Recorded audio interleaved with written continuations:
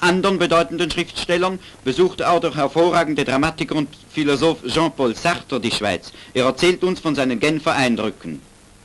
Man fühlt sich zu Hause in der Genfer Altstadt. Schon finden wir ein Café, das denen von Saint-Germain-des-Prés kaum nachsteht. Nach einer Unterhaltung mit Marcel Raymond, Professor der Universität und Spezialist für moderne französische Literatur, führt uns ein französischer Freund in die Cité.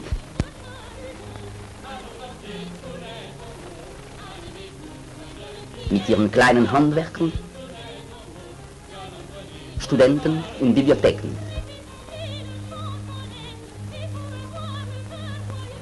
Ein Straßenmaler wie in Paris auf der Insel Saint-Louis. Er gleicht in auffallender Weise André Gide.